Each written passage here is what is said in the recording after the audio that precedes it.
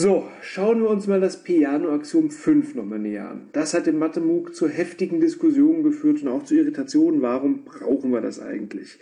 Mit P1 bis P4 haben wir die Struktur der natürlichen Zahlen schon relativ gut charakterisiert. Ne? Die Struktur der natürlichen Zahlen, die habe ich hier oben mal aufgemalt. Das ist die Struktur der natürlichen Zahlen, so wie wir sie haben wollen. Ne? Hier. 0 ist die kleinste natürliche Zahl, letztlich also mit 0 beginnt die Struktur, die Kette der natürlichen Zahlen. Dann hat die 0 Nachfolger, die Zahl hat auch wieder Nachfolger und wieder Nachfolger und wieder Nachfolger und, und so weiter und so weiter bis ins Unendliche. Zirkel haben wir vermieden, irgendwelche äh, ja, so Kreise innerhalb der Struktur und so, das alles haben wir vermieden, das ist jetzt einfach nur eine Kette. Ja, trotzdem ist es aber so, dass mit dem Piano-Axiom oder ohne das Piano-Axiom Nummer 5 auch diese Struktur hier die Piano-Axiom Nummer 1 bis 4 erfüllt. Das heißt, auch das ist eine Struktur, die, wenn wir jetzt nur die Piano-Axiome 1 bis 4 behalten würden, durch die Piano-Axiome 1 bis 4 festgelegt würde. Ja, also diese Struktur würde auch die Axiome P1 bis P4 erfüllen. Das wollen wir aber nicht, weil diese Struktur nicht die Struktur der natürlichen Zahlen ist. Unser Ziel ist, lege mit dem Piano-Axiom die Struktur der natürlichen Zahlen möglichst präzise fest. Mit P1 bis P4 haben wir aber auch diese Struktur hier festgelegt. Das ist falsch. Das heißt, wir brauchen eine ein Axiom P5, das verhindert, dass es solche Parallelstrukturen hier geben kann. So, warum schafft das das Axiom P5 so, wie ich es hier oben hingeschrieben habe? Das schauen wir uns jetzt mal genauer an. Das Axiom P5 besteht ja aus, ist letztlich eine Implikation. Ja? Eine Implikation, eine Wenn-Dann-Aussage. Wenn diese Aussage hier gilt, dann muss auch diese Aussage gelten. So. P5 trifft eine Aussage über Mengen. Ja, über beliebige Mengen M. Und zwar Mengen, für die folgendes gelten muss. Wenn die Aussage hier vorne für die Menge M gilt, dann muss auch die Aussage hier hinten für die Menge m gelten.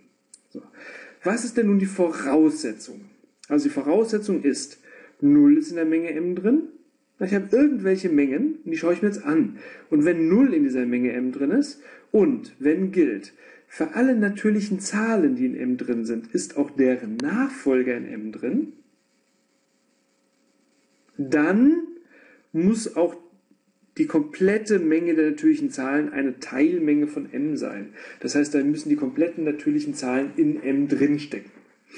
Also, wenn 0 in m drin ist und wenn für jede natürliche Zahl, die in m schon drin ist, auch ihr Nachfolger drin ist, dann sind die kompletten natürlichen Zahlen in m drin. So. Jetzt muss das für alle Mengen m gelten. Jetzt schauen wir uns mal folgende Menge an.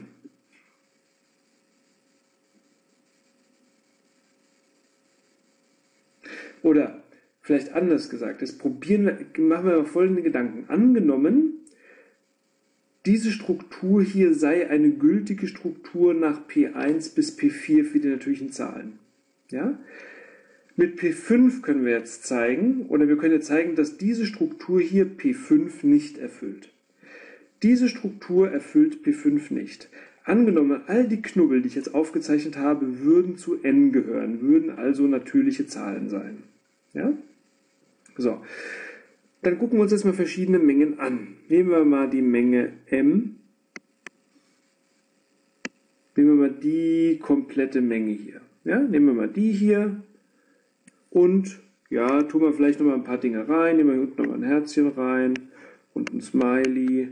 Das ist auch alles in der Menge M drin, ne? Und vielleicht noch, ja, keine Ahnung, irgendein Dreieck hier oder so. so. Diese Dinge sind alle in M drin. So, schauen wir uns jetzt mal an. Erfüllt M hier die Voraussetzung? 0 ist in M drin. Okay, stimmt. Und für jede natürliche Zahl, also für jeder Knubbel, der hier drin ist, ist auch der Nachfolger drin. Gucken wir mal, von dem Knubbel ist der Nachfolger drin, okay, von dem Knubbel ist der Nachfolger drin, okay, von dem Knubbel ist der Nachfolger drin, okay, von dem auch und so weiter. Die da unten brauche ich nicht betrachten, das sind keine natürlichen Zahlen. Ne? Also für alle natürlichen Zahlen in Anführungszeichen, die hier oben jetzt dargestellt sind, ist auch deren Nachfolger drin. Okay. Dann muss folgendes gelten, die kompletten natürlichen Zahlen sind enthalten in m. Ja, stimmt. Ne? Alle natürlichen Zahlen sind in m drin. Also diese Menge m, die ich jetzt hier aufgemalt habe, die erfüllt die Implikation da oben. Okay. Die Implikation da oben muss aber nicht nur für eine Menge m gelten. Ich muss nicht nur eine Menge m finden, sondern es muss für alle Mengen m gelten, die die Voraussetzung erfüllen. Alle Mengen, die die Voraussetzung davon erfüllen, in denen müssen die natürlichen Zahlen noch komplett enthalten sein. So, jetzt schauen wir mal. Gucken wir mal eine andere Menge an. Machen wir das hier mal wieder weg. So, gucken wir mal folgende Menge an. Nehmen wir mal diese Menge hier.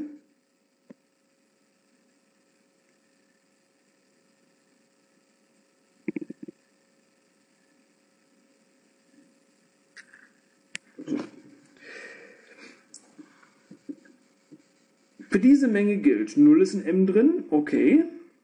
Und für alle natürlichen Zahlen gilt, wenn eine natürliche Zahl drin ist, auch deren Nachfolger.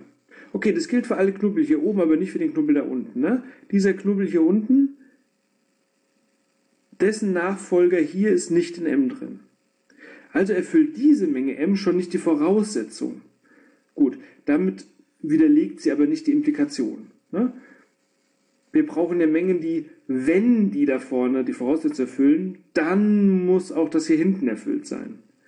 Okay, erfüllt schon gar nicht die Voraussetzung. Jetzt haben wir zwei Mengen gefunden, bei denen sozusagen die Probleme gar nicht entstehen. Ne? Diese Mengen, die erste Menge hat sozusagen die komplette Implikation erfüllt, hat die komplette Struktur hier unten abgedeckt, aber das ist ja gar nicht die Struktur, die wir haben wollten. Und die Menge, die ich jetzt eingezeichnet habe, die erfüllt noch nicht mal die Voraussetzungen. Jetzt kann ich aber auch eine Menge finden, das ist entscheidend. Ich kann eine Menge finden, die die Voraussetzung erfüllt, aber nicht die Tatsache, dass die natürlichen Zahlen komplett in M drin sind, wenn denn die Struktur hier unten noch mit gemeint sein soll. Und zwar folgende Menge. Aufgepasst.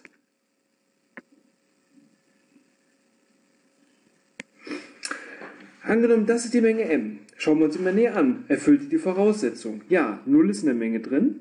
Und für jede natürliche Zahl, die in der Menge ist, ist auch deren Nachfolger drin. Ja, 0 ist drin, also deren Nachfolger. Für diese Zahl ist drin, also auch deren Nachfolger. Ja, klar, diese Zahl ist drin, deren Nachfolger auch. Ja, diese Zahl ist drin, deren Nachfolger auch. Ja, und so weiter und so weiter. Ich finde hier keine Zahl, deren Nachfolger nicht drin ist. So. Die Tatsache, dass diese Menge hier die Voraussetzung erfüllt, bedeutet, jetzt muss sie auch hier hinten die Aussage erfüllen, damit das Piano-Axiom 5 erfüllt ist. Ne? Jetzt müssen auch alle natürlichen Zahlen in m drin sein. Ja, und jetzt sieht man hier, angenommen, wir sind davon ausgegangen, dass die kompletten Knubbel hier natürlichen Zahlen sind, die Kette jetzt hier unten, die wird gar nicht mit berücksichtigt. Die ist jetzt gar nicht drin in m. Ne? Das heißt, jetzt ist n nicht Teilmenge von m, vorausgesetzt all diese Knubbel hier gehören zu n. Das ist jetzt auch letztlich der Grund, warum die Parallelstrukturen vermieden werden, beziehungsweise warum die natürlichen Zahlen nur so eine einzige Kette sind. Weil, wenn ich eine Menge habe mit so einer Kette und allem möglichen Zeugs drumherum, dann kann ich eine Menge m finden, die komplett diese Kette und nur diese Kette umschließt. Damit erfüllt sie die Voraussetzung, nämlich 0 ist drin und für alle natürlichen Zahlen, diejenigen, die drin sind, deren Nachfolger sind auch drin. Also ich brauche nur eine Menge finden, die nur diese Kette umschließt und schon wird die Voraussetzung erfüllt. Dann muss aber auch hier hinten die Folgerung gelten, dass die natürlichen Zahlen komplett in m enthalten sind. Das heißt, ich kann eine Menge m finden, die nur diese eine Kette hier oben umschließt. Damit ist die Voraussetzung erfüllt und wenn das Piano-Axiom 5 erfüllt sein soll, dann muss auch hier hinten die Folgerung erfüllt sein. Das bedeutet also, die natürlichen Zahlen, die können nur eine solche Kette sein. Es kann keine Parallelstrukturen geben.